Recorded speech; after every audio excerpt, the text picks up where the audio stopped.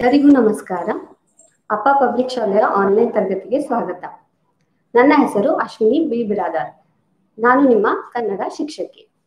ನೀವು ಹಿಂದಿನ ತರಗತಿಯಲ್ಲಿ ವರ್ಣಮಾಲೆಗಳು, ಸ್ವರಗಳು, ವರ್ಣಮಾಲೆಯಲ್ಲಿ ಬರುವಂತಹ ಸ್ವರಗಳು ಯೋಗವಾಹಗಳು ವ್ಯಂಜನಗಳು ಮತ್ ಇವೆಲ್ಲನೂ ಓದಿದಿರ ಹಾಗೆ ಹಿಂದಿನ ತರಗತಿಯಲ್ಲಿ ಒತ್ತಕ್ಷರ ಕ್ಲಾಸ್ನು ಮುಗಿದು. ಓಕೆನಾ ಹಾಗಾದ್ರೆ ಇವತ್ತು ನಾವ್ ಏನ್ ಮಾಡೋಣ? ಒತ್ತಕ್ಷರ ಪುನರಾವರ್ತನೆ ಮಾಡೋಣ. ಏನ್ ಮಾಡೋಣ? ಒತ್ತಕ್ಷರಗಳ ಪುನರಾವರ್ತನೆ ಮಾಡೋಣ. ಮೊದಲು ಸ್ವರಗಳು ಎಷ್ಟು ಹೇಳಿ? ಎಷ್ಟು? ಹದಿಮೂರು. ವೆರಿ ಗುಡ್ ಹದಿಮೂರು. ಅವು ಯಾವ್ಯಾವು? ಅ, ಆ, ಇ ಇ, ಉ ಉ, ರು, ಎ ಎ, ಐ. ಓ ಓ ಔ ಇಷ್ಟು ಸ್ವರಗಳು. ಯೋಗವಾಗಳು ಎಷ್ಟು? ಎರಡು. ಅವು ಯಾವ್ಯಾವು? ಅಂ ಮತ್ತೆ ಅಹ. ಹಾಗಾದ್ರೆ ವ್ಯಂಜನಗಳು ಎಷ್ಟು? ಒಟ್ಟು ವ್ಯಂಜನಗಳು ಮೂವತ್ನಾಲ್ಕು. ಎಷ್ಟು? ಮೂವತ್ನಾಲ್ಕು. ಹಾಗಾದ್ರೆ ಅವು ಯಾವ್ಯಾವು? ಗ, ಖ, ಗ, ಘ ನ ಚ ಛ ಜ, ಛ ಯ ಟ ಠ ಡ ಢ. ಣ ತ, ಥ, ದ ದ ನ. ಪ ಫ ಬ ಬ ಮ ಯ, ರ, ಲ, ವ, ಶ ಶ, ಸ, ಹ, ಳ. ಒಟ್ಟು ಮೂವತ್ನಾಲ್ಕು ವ್ಯಂಜನಾಕ್ಷರಗಳು. ಇವತ್ತು ನಾವು ಏನ್ ಮಾಡೋಣ? ಒತ್ತಕ್ಷರಗಳ ಪುನರಾವರ್ತನೆಯನ್ನ ಕಲಿಯೋಣ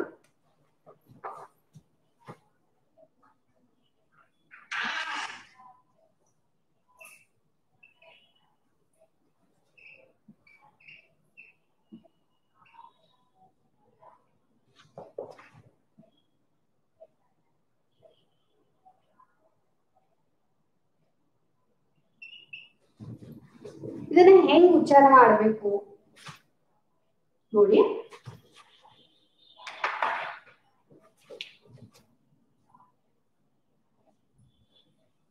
ಕ ಖ ಗ ಘ ङ ಓಕೆ च chở. Dở dở nhận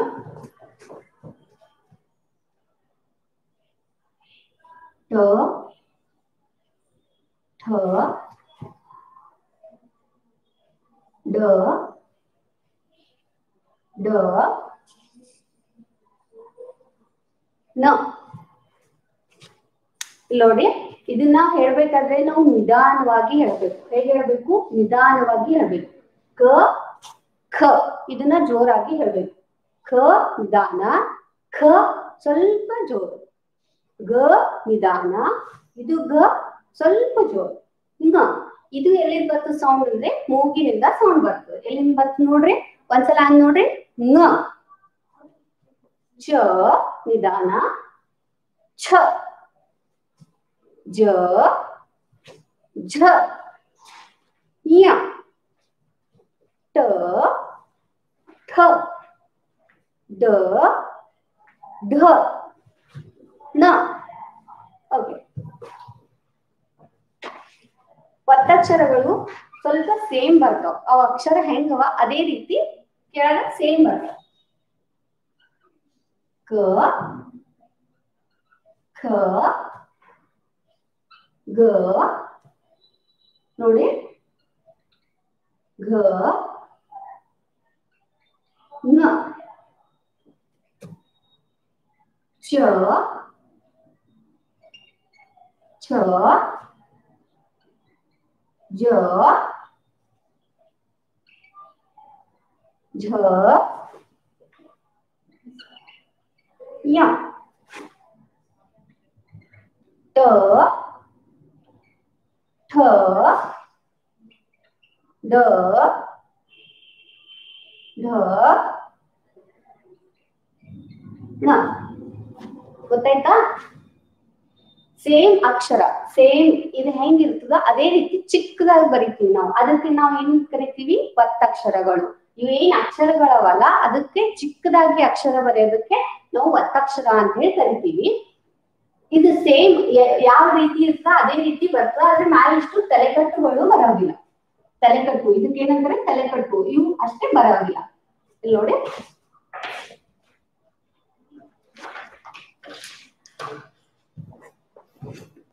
ಇಲ್ಲಿ ನೋಡಿ. ಏನದು ಕ ಖ ಗ ಘ ङ ಚ ಛ ಜ ಝ ಞ ಟ ಠ ಡ ಢ ನ ಇವೇನದು ವ್ಯಂಜನ ಅದು ಇದ್ರ ಒತ್ತಕ್ಷರ ನೋಡ್ರಿ ಕ ಖ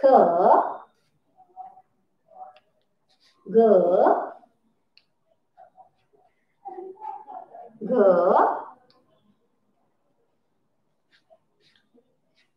ङ ಓಕೆನಾ ನೆಕ್ಸ್ಟ್ ಚ ಛ ಜ ಝ ಯ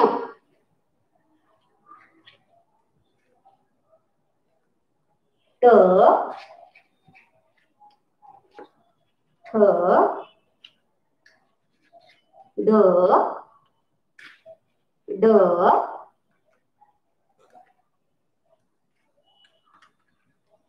ನ ಇದಕ್ಕೆ ನಾ ಹೆಂಗ್ ಓದ್ತೇವೆ ಅಂದ್ರೆ ಕ ಕವತ್ತು ಖ ಖವತ್ತು ಗ ಗವತ್ತು ಘ ಘವತ್ತು ನ ঙವತ್ತು ಚ, ಚವತ್ತು, ಛ, ಛವತ್ತು, ಜ ಜವತ್ತು ಝ, ಝವತ್ತು, ಯ, ಯವತ್ತು ಟ ಟವತ್ತು ಥ ಠವತ್ತು ಡ ಡವತ್ತು ಢ ಢವತ್ತು ಣ ನಾವತ್ತು ಈ ರೀತಿಯಾಗಿ ಓದ್ತೀವಿ ನಾವು. ನಾವು ಅತ್ತಕ್ಷರಗಳನ್ನ ಯಾಕೆ ಕಲಿಬೇಕು? ಕಲ್ತ್ರೆ ಏನ್ ಉಪಯೋಗ ಅದ? ಕಲ್ತ್ರೆ, ಇವುಗಳನ್ನ ಕಲ್ತ್ರೆ ಏನ್ ಉಪಯೋಗ ಅದ ನಿಮಗ? ಅದನ್ನ ಹೇಳ್ತೀನಿ ನೋಡ್ರಿ ಈಗ. ಅಂದ್ರೆ ನಾವು ಮಾತಾಡ್ಬೇಕಾದ್ರೆ ನಾವು ಒತ್ತಕ್ಷರ ಒತ್ತಕ್ಷರ ಹಿಂದೆ ಮಾತಾಡತ್ತೀವ ಅಂತ ನಮಗ ಅನ್ಸಂಗಿಲ್ಲ. ಆದ್ರೆ ನಾವು ಬರಿಬೇಕಾದ್ರೆ ಏನ್ ಬೇಕು ನಮ್ಗ? ಒತ್ತಕ್ಷರ ಬೇಕು. ಒತ್ತಕ್ಷರ ಒಂದ್ ಅಕ್ಷರಿಗೆ ನಾವು ಕೊಡ್ಲಿಲ್ಲ ಅಂತಂದ್ರೆ ಅದ್ರ ಅರ್ಥನೇ ಫುಲ್ ಬೇರೆ ಆಗ್ಬಿಡುತ್ತೆ. ನೋಡಿ ಕೆಲವೊಂದು ಉದಾಹರಣೆಗಳನ್ನು ನೋಡೋಣ.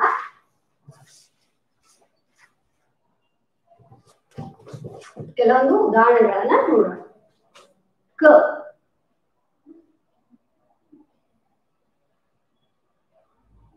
ಓದಿದು ಇದು ಯಾವ ಅಕ್ಷರ ಅದು? ಸ್ವರದು ಯಾವ ಅಕ್ಷರ ಅದು? ಸ್ವರದ ಫಸ್ಟ್ ಭಾಗದಲ್ಲಿ ಯಾವ ಅಕ್ಷರ ಅದು? ಅ. ಅ. ವ್ಯಂಜನಾಕ್ಷರ ಯಾವುದು? ಕ. ಏನಾಯ್ತು? ಅ, ಕ. ಅಕ. ಅಕ ಅಂದ್ರೆ ಅಕ್ಕ ಆಗ್ತದ? ಇಲ್ಲ. ಇದ್ರ ಕೆಳಗೆ ಕ ಒತ್ತ ಅಕ್ಷರ ಕೊಟ್ರೆ ಇದೇನಾಯ್ತು? ಅಕ್ಕ ಏನಾಯ್ತು? ಅಕ್ಕ ಅಕ್ಕ ಅಂದ್ರೆ ಯಾರು? ಸಿಸ್ಟರ್ ನೆಕ್ಸ್ಟ್ ಚೀ ಕ. ಚೀಕ ಅಂದ್ರೆ ಅರ್ಥ ಇಲ್ಲ. ಅದೇ ಕ ಒತ್ತಕ್ಷರ ಕೆಳಗೆ ಕೊಟ್ರೆ ಚಿಕ್ಕ. ಚಿಕ್ಕ ಅಂದ್ರೆ ಸ್ಮಾಲ್ ಪ ಕ. ಪಕ ಅರ್ಥ ಇಲ್ಲ.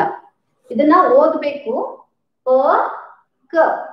ಪ, ಕ, ಅಕ್ಷರ ಖುಣ ಹಿಡೀರಿ, ಗುರುತಿಸ್ರಿ, ಅಕ್ಷರ ಗುರುತಿಸಿ ಇದನ್ನ ಓದ್ರಿ. ಇದೇನದ ವ್ಯಂಜನಾಕ್ಷರ? ಪ. ಇದು ಕ. ಪ, ಕ. ಪಕ ಅಂದ್ರೆ ಅರ್ಥ ಇಲ್ಲ. ಕೆಳಗ್ ಕ ಒತ್ತ ಅಕ್ಷರ ಕೊಟ್ರೆ ಪಕ್ಕ. ಪಕ್ಕ.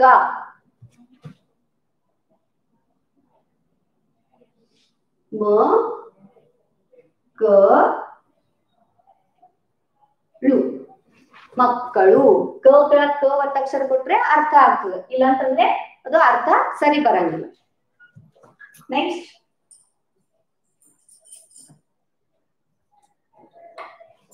ಹ. ಅಕ್ಷರ ನೋಡ್ರಿ ಯಾವ್ದು ಹ, ಗ. ಯಾವುದು? ಗ. ಸಣ್ಣ ಘನ ದೊಡ್ಡ ಘನ ವೆರಿ ಗುಡ್ ಸಣ್ಣ ಘ ಹ, ಗ. ಹಗ ಅಂದ್ರೆ ಅರ್ಥ ಇಲ್ಲ. ಇವ್ ಕೆಳಗೆ ಗೃಹ ಒತ್ತಕ್ಷರ ಕೊಟ್ರೆ ಹಗ್ಗ. ಒತ್ತಕ್ಷರಗಳನ್ನ ಲಕ್ಷ್ಯ ಕೊಟ್ಟು ನೋಡ್ರಿ. ನೋಡ್ರಿ ಯಾವ ಒತ್ತಕ್ಷರ ಕೆಳಗೆ ಯಾವ ಒತ್ತಕ್ಷರ ಬಂದದ? ಗ ಒತ್ತಕ್ಷರಗಳ ಕೆಳಗೆ ಗ ಒತ್ತಕ್ಷರನೇ ಬಂದದು. ಗ ಒತ್ತಕ್ಷರ ಕೆಳಗ ಗ ಒತ್ತಕ್ಷರೇ ನೆಕ್ಸ್ಟ್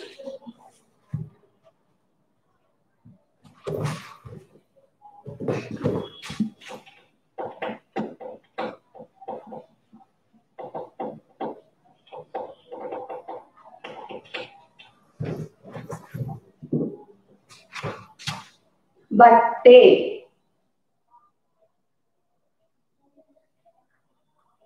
ಬಟ್ಟೆ. ಬಟ್ಟೆ ಬಟ್ಟೆ ಅಂದ್ರೆ ಏನು ಕ್ಲಾತ್ ಕ್ಲಾತ್ ನೀವು ಉಟ್ಕೋತಿರಲ್ಲ, ಬಟ್ಟೆ? ಇದ್ರ ಕೆಳಗೆ ಯಾವ ಒತ್ತಕ್ಷರ ಬಂತು ಟ ಟ ಕೆಳಗ ಟ ಒತ್ತಕ್ಷರ ಬಂತು ಇಲ್ಲಿ ನೋಡ್ರಿ ಟ ಕೆಳಗ ಟ ಒತ್ತಕ್ಷರ ಅದ. ಅದೇ ರೀತಿ ಟ ಕೆಳಗ ಟ ಒತ್ತಕ್ಷರ ಬಂತು ನೆಕ್ಸ್ಟ್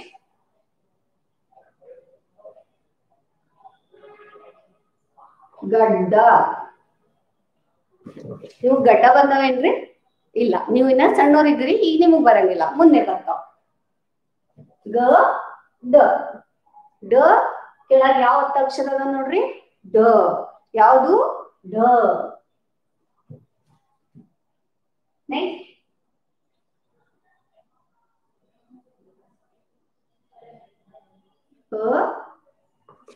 ಇದು ಓದ್ರಿ ನೋಡೋಣ. ನ. ಇದು ಏನಾದ್ರು ಅರ್ಥ ಕೊಡ್ತದ? ಅ, ನ ಅಣ ಇಲ್ಲ. ಇದಕ್ಕೆ ಏನಂತ ನಾವು ಇದಕ್ಕ ಯಾವ ಒತ್ತಕ್ಷರ ಕೊಡ್ಬೇಕು? ನ ಒತ್ತಕ್ಷರ ಕೊಡ್ಬೇಕು. ನ ಒತ್ತಕ್ಷರ ಕೊಟ್ರೆ ಇದೇನಂತ ಅಣ್ಣ. ಅಣ್ಣ ಅಂತ ಯಾರಿಗ್ ನಾವು ಕರಿತೀವಿ? ಬ್ರದರ್. ಯಾರಿಗ್ ಕರಿತೀವಿ? ಬ್ರದರ್. ನೆಕ್ಸ್ಟ್.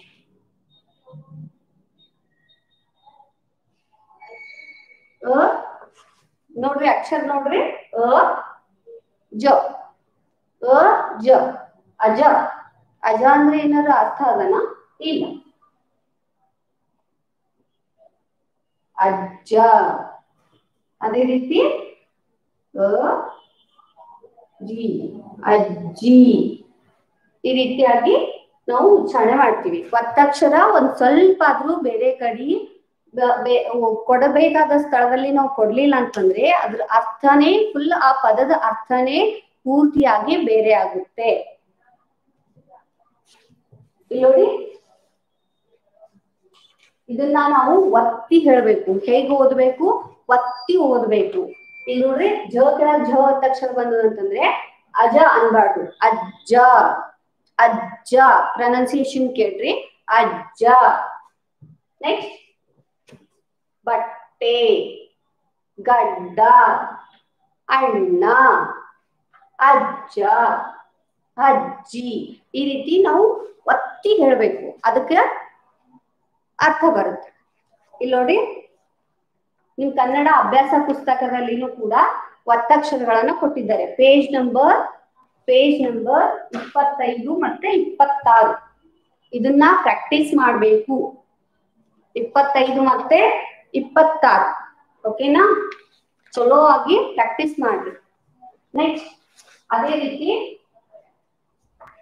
ನಿಮ್ ಕನ್ನಡ ಟೆಕ್ಸ್ಟ್ ಬುಕ್ ಅಲ್ಲಿ ಟೆಕ್ಸ್ಟ್ ಬುಕ್ ಅಲ್ಲಿ ಕೂಡ ಪೇಜ್ ನಂಬರ್ ಇಪ್ಪತ್ಮೂರು ಮತ್ತೆ ಇಪ್ಪತ್ನಾಲ್ಕರಲ್ಲಿ ಒತ್ತಕ್ಷರಗಳನ್ನ ಕೊಟ್ಟಿದ್ದಾರೆ. ಇದನ್ನ ಚೆನ್ನಾಗಿ ಅಭ್ಯಾಸ ಮಾಡ್ಬೇಕು. ನೀವು ಎಷ್ಟು ಚೆನ್ನಾಗಿ ಅಭ್ಯಾಸ ಮಾಡ್ತೀರಿ ಅಷ್ಟು ನಿಮಗ್ ಸರಳವಾಗಿ ಬರ್ತದೆ. ಓಕೆನಾ